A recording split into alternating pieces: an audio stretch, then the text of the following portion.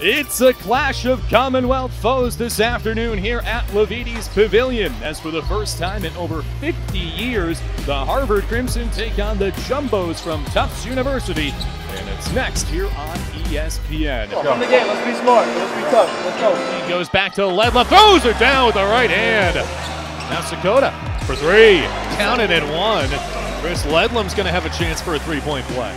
Sakota joins the fun. That's his third three of the first half. Bounce pass to Silverstein for two. Jay on the drive, wide open, banks it off the window. There he is. Chris Ledlum puts one home. Carr's got an answer. Simon now. He buries it. They assert themselves in the second half. And the Crimson come away victorious on this Sunday afternoon from Lavietes Pavilion.